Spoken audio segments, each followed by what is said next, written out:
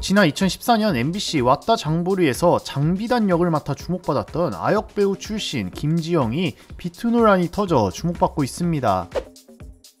김지영은 2005년생으로 지난 2014년 MBC 왔다 장보리에서 장비단 역을 맡아 주목받았고 이외에도 내 딸 금사월, 왜 그래 풍상씨, 굽힐 수는 없다 라는 등의 작품에도 출연했던 인물인데요. 그런데 돌연 22일 김지영의 전 남자친구라고 밝힌 A씨는 폭로 안 하려고 했다가 6개월 고민하고 올린다 동거를 했었다라며 친구 김지영씨가 가정폭력을 당해서 집에 빚이 몇 억 있는데도 불구하고 저희 어머니 아버지가 빚내서 지영이 자취방 잡아줬다 월세도 물론 저희 부모님이 냈다라고 폭로했습니다. 이어 어느 날 잠적하고 집을 나가서 다른 사람과 사귀고 있으니 연락하지 말라더라. 돈 문제 관련한 거면 다 자기가 주겠다고 당당히 얘기했는데 연락 한 통이 없다. 생각 없이 사는 사람들 TV에 나오는 걸 보기 싫다. 돈 갚으면 바로 내리겠다. 라고 밝혀 비투 논란이 일었습니다. 이에 23일 김지영은 자신의 인스타그램에 안녕하세요 배우 김지영입니다 라고 시작하는 장문의 글을 게재했죠. 김 지영은 먼저 이번 일로 실망감과 혼란을 느끼셨을 모든 분들께 진심으로 죄송한 마음을 전합니다 라고 알렸는데요. 이어